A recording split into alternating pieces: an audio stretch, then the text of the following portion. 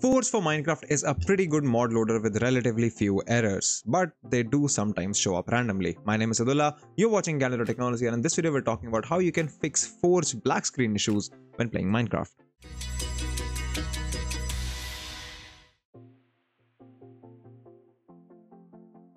Now the first thing that we need to do here is to update the Java file required to, for Forge to run. Now to do this, head over to the installations section and in front of Forge, go ahead and click these three dots and then edit.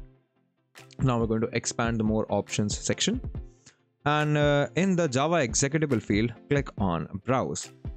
Now what we're going to do is we're going to where we've installed our Java files and we're going to find uh, the latest javac file that we need to function or that minecraft needs to run so if you scroll down in this list you should be seeing uh, something called javaw.exe go ahead and select this file.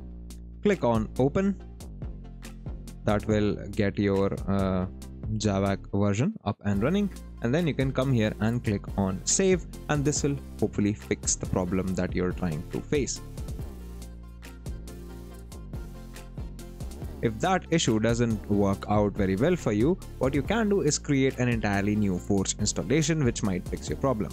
How to do that? Well, head over to the installations tab, click on the new installations button and type out a name for your installation. So I'm just going to type in test Minecraft Forge. Uh, you can select a logo if you want and then uh, in the version section i'm going to select the latest forge installation that i have which is 1.21.4 and forge version 54.1.3 and uh, that is pretty much it. You can go ahead and add your java executable like we did in the last step here but everything pretty much else should work fine. So if you go ahead and click on install uh, this will tell you that you're going to play a Minecraft Java Edition game that has been modified and this should boot up Forge for you once again which means you can transfer any mods that might not carry over and get going. Last but not least, if uh, nothing else works for you so far, what you can do is try and create a new vanilla Minecraft installation and then reinstall Forge to it. So if you want, you can go ahead and delete your Forge installation, but I'm just going to go ahead with a new vanilla installation in this case, which is going to be clicking on new installation, naming it um, whatever you want, selecting the latest release, which in this case is 1.21.5. And uh, if you want, you can change the game directory, resolution, and the other options here as well.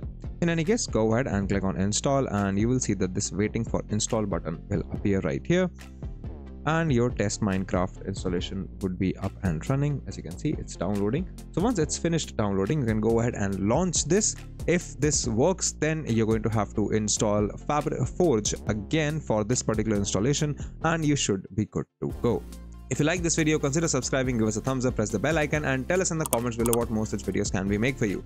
If you'd like to know more about tech, visit our website candid.technology, follow us on social media, follow me on Instagram or Twitter and if we cannot help you as much as we want through these videos, do consider buying a membership. And I'll see you in the next video.